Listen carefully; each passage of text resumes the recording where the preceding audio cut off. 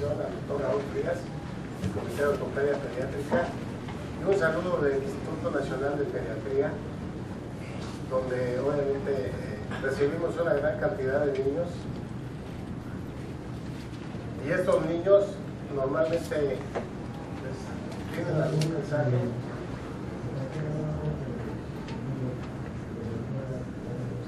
y a veces cosas chuscas como si hay uno letreros en cualquier parte y yo soy un aficionado a coleccionar algunos letreros a donde viajo y como ustedes pueden ver esperemos que en este lugar el día de hoy este, pues sí acontezca algo, ¿no? Cuando menos un cambio en la manera de ver las lesiones, un cambio en nuestra manera de abordar a los niños, puesto que cada quien los va a manejar, el fisioterapeuta, como acabamos de escuchar, pues siempre va a estar peleado con el ortopedista, el rehabilitador nos va a, querer decir qué hacerle, etcétera. Entonces vamos a tener que estar interactuando con diversas especialidades y muchas veces este, pues no es bueno, ¿no? la competencia aquí no es buena, sino nada más la que mencionó Memo, que hay que competir. Le voy a pedir al doctor Víctor de La Paz, Baja California, que es uno de nuestros egresados. Si pasa el micrófono, por favor. Le prestan el, el micrófono. Leí este letrero y Víctor, este, si nos quisieras leer, por favor. No sé si necesitas lentes o... Sí, no alcanza Ok. Bueno, ¿qué, qué dice ahí?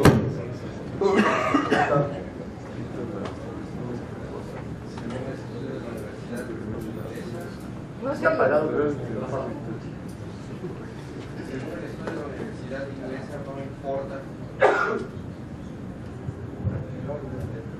Según el estudio de la Universidad Inglesa, no importa el, el orden en el que las letras estén escritas, la única cosa importante es que la primera y la última letra esté escrita en la posición correcta. Una más, Víctor, y además una. Es examen final de graduación. Podemos, ver la- podemos leer las palabras con números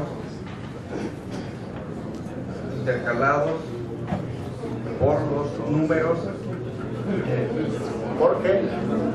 porque los números tienen una forma similar a la de las letras que estamos eh, sustituyendo en una habilidad que mejora con el tiempo y muy útil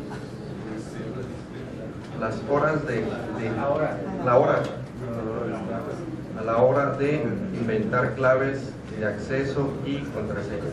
Muy bien, Víctor, muchas gracias. Vemos que ha pasado el examen final de graduación de ortopedista pediatra, con creces, y realmente el reto cuando vemos a un niño es esto, que nos llega en un lenguaje que podemos pensar que lo podemos traducir, que lo podemos leer, casi casi viéndolo en una exploración directa, pero muchas veces el niño trae otras cosas atrás. Y este es uno de, de los ejemplos. ¿sí?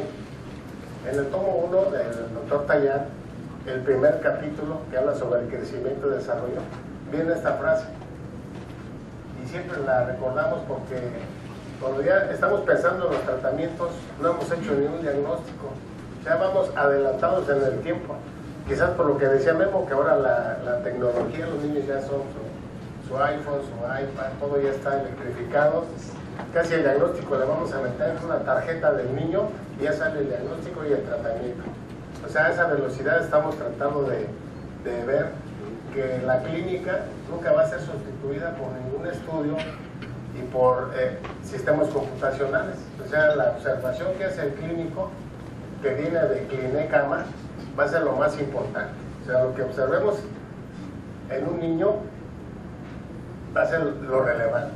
¿Qué evidencias tenemos en la literatura? Bueno, hay innumerables. Ahí alguien preguntaba que qué guías había para manejar las lesiones. Y basta con que nos metamos a internet y hay una información, hay más de 18 mil journals que están abiertos, otros tantos en, en cuestión electrónica, la misma revista Acta Ortopédica, un sinnúmero de revistas que publican innumerables artículos que realmente el tiempo que tendríamos que estar leyendo los ortopedistas sería casi un mes sentados, nada más tomando café y desvelados como cuando éramos árabes.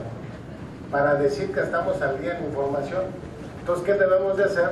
Seleccionar la información de toda esa, esa maraña, esa gran eh, invasión electrónica, pues debemos de saber seleccionar qué artículos y qué libros debemos de leer, cuando menos un, un abstract al día para un ortopedista que se precie de trabajar en un instituto público, su consulta privada, llevar a los niños a, a natación, a karate, regresar y entrenar también el ortopedista. Entonces, un abstract o un artículo cada dos días, yo se los dejaría de tarea, que esa va a ser la, la fecha memorable el día de hoy, que nos dieron ese mensaje, de que no perdamos el, el gusto por la lectura y no nada más puede ser ortopedia, puede ser de, eh, lectura de otros artículos de literatura. La evidencia de las lesiones fisianas obviamente eh, nos preocupan, es una razón para preocuparnos, claro que es una razón para preocuparnos porque tenemos osteocondritis del polo interior de la rótula, Cindy Larsen y Johansen, una osteocondrosis o osteocondritis, en una inserción donde eh, esa inserción, el exceso está en múltiple atracción y va a causar dolor en el niño. Le van a tomar radiografías y no se va a poder muchas veces. El radiólogo no las va a interpretar adecuadamente y va a venir todo, eh, todo está normal.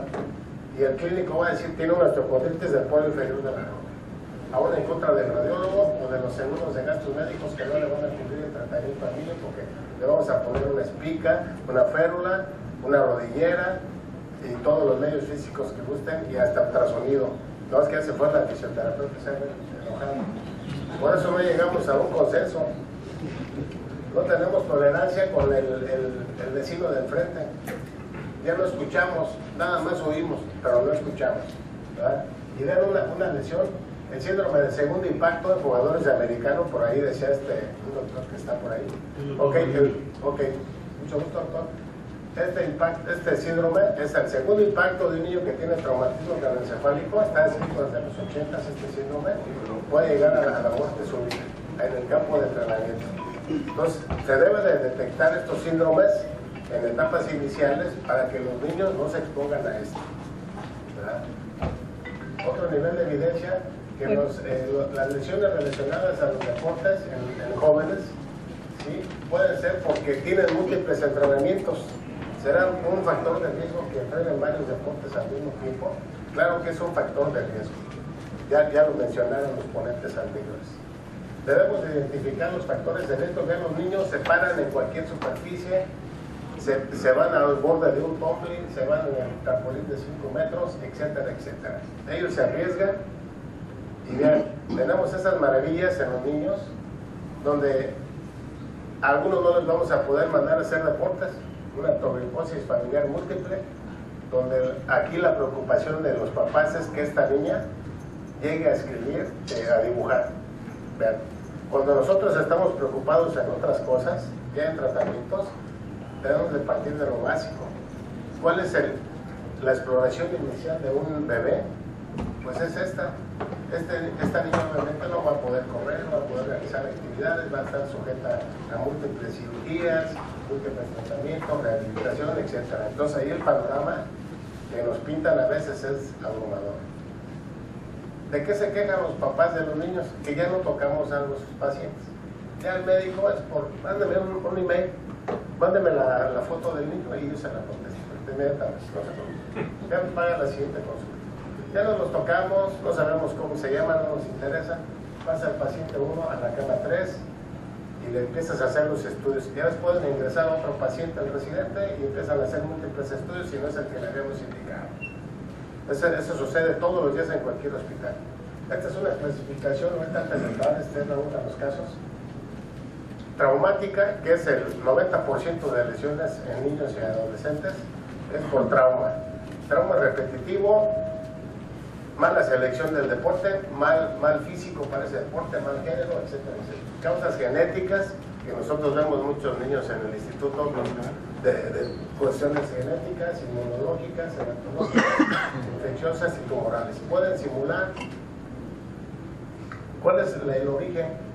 Los programas intensivos de entrenamiento, las regiones anatómicas vulnerables que ya las mencionaron, las fisis, los núcleos de crecimiento, los ligamentos tienen, soportan grandes cargas, pero también se rompen en los niños, la ropa y accesorios inadecuados y un deficiente estado de las instalaciones.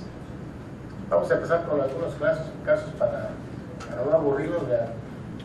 Una neurocitis osificante en un jugador de fútbol soccer, pues obviamente el aumento de volumen, dolor, aumento de temperatura, a veces son hematomas que tenían, se encapsulan y se hace algo, una, una cuestión heterotópica y calcificada. Con una simple radiografía, vamos porque a esto ya le habían aplicado calor, hidroterapia, este, árnica, ya le habían hecho todo, no le habían hecho una radiografía y a veces sí está justificado hacer una, una placa simple. Vean, este con una lesión de muñeca, un yeso braquipalmar que a lo mejor era para una cuestión de una perulita, no tenía fractura obviamente por sobreactuar, también nosotros sobreactuamos. Vean nomás la reacción, una dermatitis ahí por el yeso, que es más eh, complicada que tratar un, esguince de muñeca.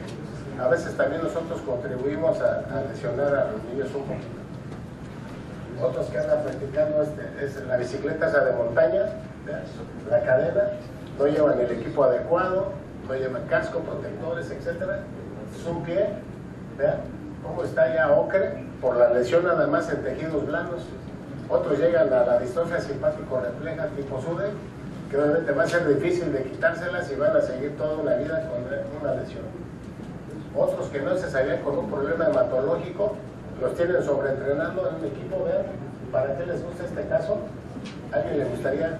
Después de entrenar dos horas, presentó una hematrosis severa. ¿Para qué pintará? Puede ser un sarcoma estrogénico. Hemofilia. Un hemofílico, un hemofílico, una rodilla hemofílica, pues obviamente no se sabía el niño portador de hemofilia. Y bueno, pues llegan, se les hace un tipo de coagulación. Algunos llegan con un aumento de, de este decían que tenía un esguince en la muñeca, tenía una férula, le quitamos la férula a esta niña, vean. Les paso la radiografía que se le tomó ahí, vimos esta placa y se hizo una serie ósea de huesos largos y vean una exostosis cartilaginosa múltiple que se parece a la encontromatosis múltiple, a la enfermedad Oyer. Son, son diagnósticos diferenciales y no propiamente traumáticos, sino que la niña había hecho alguna actividad, le dolía la muñeca, y ahí agarramos la punta de, de, del hilo para que vean que hay situaciones de tipo genético que podemos ver las lesiones están apareciendo y a veces son diagnósticos de inicio. Otros con marcha claudicante. También eh, pocas veces vemos a los niños caminando eh, este que le notan tiene una hipertrofia. Pues este es un diagnóstico de médico legista o sea de lejos. Se ve como que claudica y nos lo habían mandado por, por lesión de una extremidad. Y no, pues cuál, este, otra niña, igual con radiografías de cadera, ya tenía tres meses de evolución, vista en cinco o seis hospitales, vean la marcha, que avanzar así, un, un deslizamiento de la cabeza del fémur, bien, 10, pasó. Le habían dicho que no tenía deslizamiento, pero a veces hay fases de predeslizamiento. Entonces, otro niño, vean, a ver si puede apreciar un poquito, está, se borra. Vean cómo está la marcha, la rodilla izquierda. Bueno, parece un equino por acortamiento, más o menos por ahí vamos, vean. Tiene un acortamiento, será una secuela de algo infeccioso en la rodilla. Sí, tiene una contractura en flexión, tiene un acortamiento, un poquito de barro. ¿Les gustaría ver una placa simple que no es muy costosa? Sí, bueno, una placa simple. Una secuela, un arresto oficiario por una artritis séptica de recién nacido. Entonces, no se había registrado el caso, no se había documentado, el niño siguió creciendo, el medio socioeconómico obviamente súper bajo, y hay bajo, bajo y súper bajo. Casi de sótano. Entonces, una secuela, un arresto, todo el algo usamos cubo. Aquí pues ya está, este niño ya lleva dos o tres cirugías de, de redirección. Y vean, sencillo, infeccioso. Otros con aumento de volumen, cuando estaba jugando también, este estaba jugando básquet, un adolescente, le apareció una bola, notó ahí que casi será un desgarro del cuádriceps. Pues se le palpa, algo duro, vean, un osteocondroma, un osteocondroma, es el benigno, el otro pues sería nuestro sarcoma, sería el, maligno que en esta edad se, se, presentaría allí y causa dolor en el sitio, la tendinitis. ¿sí? Otro caso, Eh, Es una enfermedad descrita en 1905 por un cuate en Estados Unidos, otra en Francia y otra en Alemania. No había emails, casi no había rayos X y los tres describieron esta enfermedad, se pusieron de acuerdo. Yo creo que se iban en el mismo transatlántico a Hawái, tres de vacaciones. ¿Para qué les gusta este caso? Exacto, todos 10. ¿Tú le cambió cartas? Sí, sí, maestro, sí. Por supuesto, vean. Otro. Este se había caído de una resbaladilla en la parte de las escaleras, se fue de espalda y cayó de centón. Y ven cómo está como camión de ruta 100 descuadrado. ¿Ven cómo está? Tiene cierto dolor, pero ya está espantado porque tiene tres meses de evolución. Ven la marcha, como que también empuja la pelvis, compensa. Vean. Se ve, cayó sentado de, un- tres metros, de una, de una lesión que pasa desapercibida. Es el acróstico de Sigurd. Es de acróstico en inglés, de, estas palabras, donde vean las plataformas, tiene una fractura por compresión de, cuatro, cinco cuerpos vertebrales por caída de altura. Los radiólogos esto lo interpretan como normal. Los niños tienen dolor crónico y pasa desapercibida esta lesión, como dice su acróstico. Es con, con o sin alteración radiológica. Para tenerlo en cuenta. Otros llegan, vean, los em- empezamos a revisar. Este signo clásico, un Duchenne, vean, el signo de Gowers. A veces no les pedimos que hagan esta, esta escalada, esta parada, y tiene que ver porque nos lo mandan como un niño que se había lastimado jugando fútbol y que no podía ah, jugar ni en el recreo, entonces obviamente al abordarlo empezamos a revisarlo y ya después con las enzimas y los estudios que se hacen, vean un caso más avanzado del mismo padecimiento. Obviamente esto también les causa dolor, las enfermedades de este tipo genéticas también causan dolor, las contracturas, vean, una hiperlordosis lumbar, tiene que compensar el avance, vean, una marcha casi parética, no tiene, empiezan a perder la fuerza, hipertrofia de gemelos, etcétera. Otra niña también que decían que estaba consentida, que no tenía nada, que no quería este, salir a recreo, hacer deportes, vean, una parecia en el, pie este, izquierdo, una debilidad de los extensores, casi marcha en este. A veces hay una lesión del, ciático también, después de una aplicación. Y la atrofia espinal, que son los grandes grupos, también a veces ya nos llegan en estadios avanzados. Obviamente las contracturas y esto les dan dolor, no solamente de, de músculos, de tendones, sino también de articulación lineal. La gran incapacidad que estas enfermedades van siendo progresivas y letales en corto plazo. Entonces, ¿cuál es el manual? Bueno, pues como un residente que tuvimos en Veracruz, dijo, maestro, ya me voy a Veracruz. Ya el gobernador me va a dar una plaza allá. Y aprendí algo muy importante aquí en el día ¿Qué aprendiste? Que todo está en los libros, pero nada más hay que leerlos. Hay que leerlos. Así nos dijo. Entonces, bueno, le dije, bueno, pues ahí tienes el paquete, ahí está el manual, ya va a ser eh, despegado. Y ya está una lesión por abducción en deportistas, mira, de la ceja continuidad la enfermedad de Sever, que ya la mencioné este Raúl. Y un principio, antes de, de terminar, ¿verdad? es, también tenemos ese axioma, eh, ¿por qué? Porque nos llega una radiografía y los ortopedistas tenemos una compulsión casi extrema, con una radiografía queremos hacer un diagnóstico y no preguntamos. Somos tan buenos que decimos, Oxa, para congénita, ya lo, lo dijo el maestro. Sí, pero clínicamente si vemos a, a la pacientita, vean, ¿qué le vamos a mejorar? Estará indicado hacerle algún procedimiento, llevársela con sus actividades físicas, claro, por las secuelas, ¿no? Pero vean, claro, sí, durante, eh, con la ubicación y un acortamiento, da un acortamiento. Sí, entonces bueno, pero el principio que queremos, este, esta apofisitis, también a veces no, no reconocida, de Iselin, desde 1900, 1900, sí, Islam, pues, perdón, Islam, no será del islamismo. No, Islam, bueno, vean, es de la base del quinto metatarsial, igual en, deportistas, eh, tenis planos que hacen carrera, atletismo, etcétera, y bueno, son lesiones donde la inserción del tendón del peroneo corto va a funcionar y les va a causar dolor. Y este café lo encontramos en, Guatemala y son dos palabras sabias que debemos de, repetir todos los días. A veces debemos decir, no sé qué tiene el paciente, lo vamos a estudiar. Esa es una curva de aprendizaje que pues todos en algún momento dado eh, la vamos teniendo en diferente grado y el diagnóstico es un tiro al blanco. Es como este juego mini golf donde pues, una niña está tratando de darle al, blanco, ahí al hoyito, y así andamos a veces con el diagnóstico en cuanto a sensibilidad, especificidad, valor predictivo positivo, valor predictivo negativo, hasta que lo metemos al blanco y ese va a ser el diagnóstico y ahí va a partir un buen tratamiento. Muchas gracias.